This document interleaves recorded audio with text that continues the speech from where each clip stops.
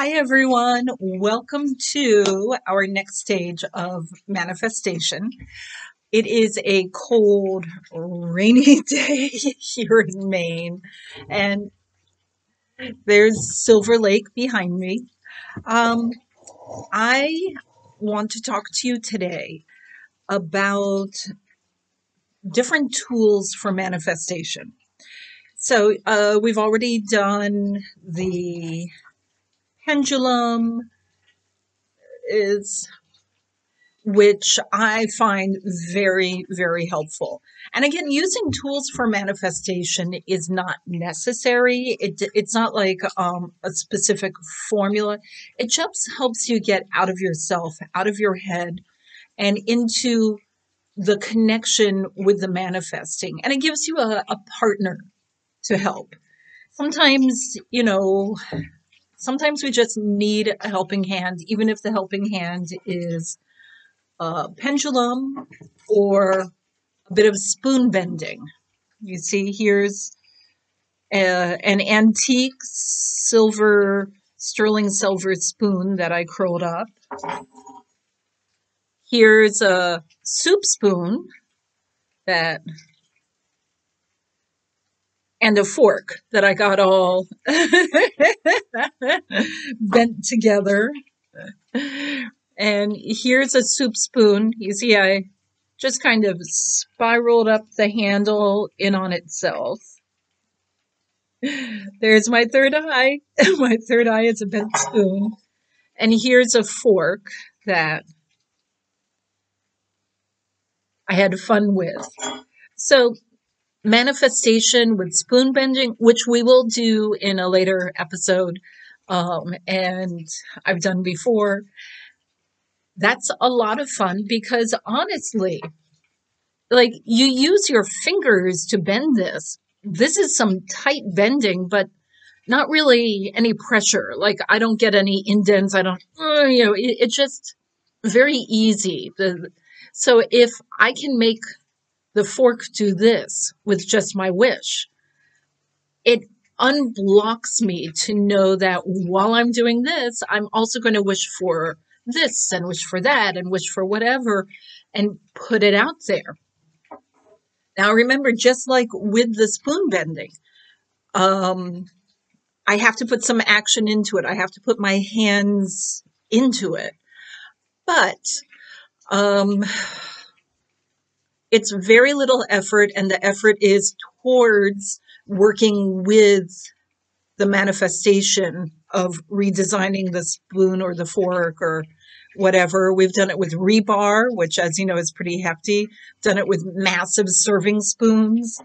Um, you know, uh, it, it doesn't matter how thick or heavy it is because you are inviting this to change to grow, to evolve with you.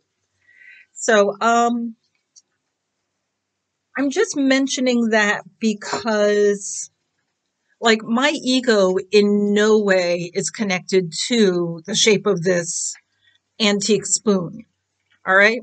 And like, I cannot, with all my force, I cannot bend it now. But when I bent it before, I invited the spoon to become very soft and malleable, and then it just twisted in my hands with little to no effort.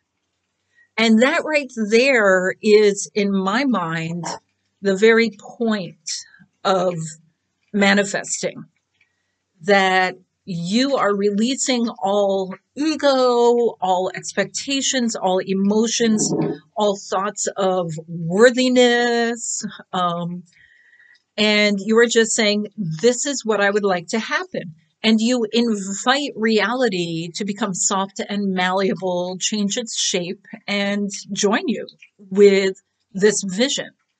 And then put in a little effort, but that effort is guided and filled with the energy. Like you can feel you're in the groove, you're in that manifestation groove, you know. And so sometimes, like, I will put it to my guides. I'm like, you know what? I know you say money doesn't exist, but I got some bills to pay. I need some money. And then they will say to me, here's something we want you to offer. And I'll go, okay. And I'll type it up and like they're with me. on what to write. I can feel their energy and the flow, and I'll type it up and I'll put it out on social media. And what will come back is the number of people I need to fulfill the wish of whatever money. I mean, honestly, manifesting money is like a big part of what we all are always asking for. Uh, money, people to love me, people I can love, uh, a vacation, a house. These are the most popular things that that we manifest. Um, and and that's okay. I mean, I've manifested money. I've manifested people to come into my life. I've manifested my dream house and and I just I work with the process. For me there's always a little action to go along with the uh, a little activity. Now for some people they can hold up a fork and with their mind looking at it it will just go those people have practiced a lot more than I have, and they've put in the work, but they put in the work to develop the skill. Um, I'll admit, once I got to the point where it's fun for me and any more effort would not be fun, I'm like, okay, this is good enough. I am a spoon bender. I am not a divine master spoon bender, but I have a lot of fun. Um, if you want to learn how, there are a bunch of spoon bending videos on my YouTube channel. Please subscribe while you're there. I also have on my website, bonitawoods.org, an entire free program. You have to join the email list to have access to all the free programs.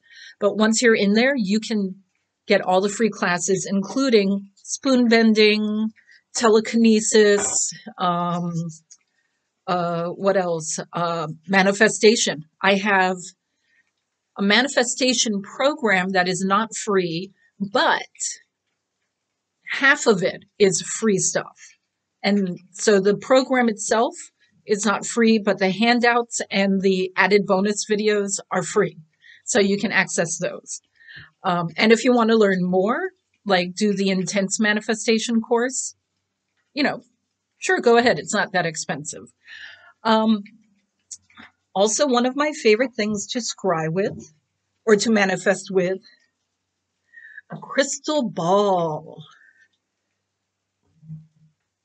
And also at bonitawoods.org, I have an entire free series on working with crystal balls and pendulums and the like.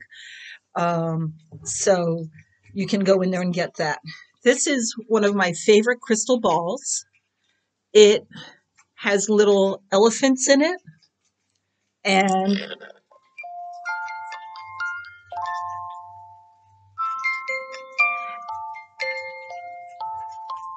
it plays the song The Candy Man.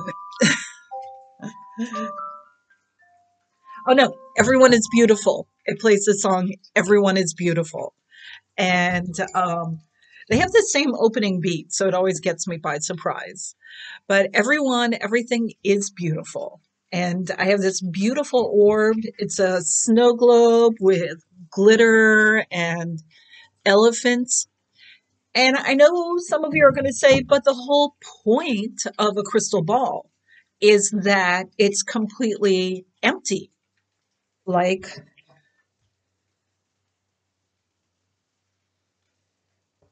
that is the point of this, my empty crystal ball. But this one here with the elephants, first of all, it was made by an amazing artist, Christina Balls Oh no, Crystal Balls. I don't even know her name, but oh my God, she's absolutely amazing, absolutely lovely. And the point of a crystal ball is when you look at it, you sort of let your mind, your vision, your emotions get lost in it. And it's almost like you and this merge in a dream state. So the empty crystal ball can be great, but also this kind of fun one here is great because it helps me space out. I look at it and I just space out. Uh, I'll do the same with a big piece of clear quartz crystal. I'll do the same with a bowl of water or a cup of tea, especially on a chilly day. Or I'll just go down to the pond, the lake behind me, Silver Lake. I'll just go down there and sit and just like stare at the lake and space out, and visions will rise up for me. Your crystal ball is whatever allows you at this moment to space out and let the messages, the visions rise up. That's it for today. Tomorrow, we are going to actually do some crystal ball scrying.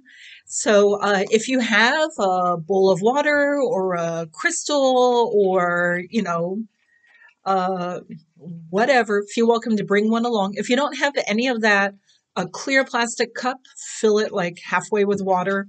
That will work also. I look forward to visioning with you. Bye.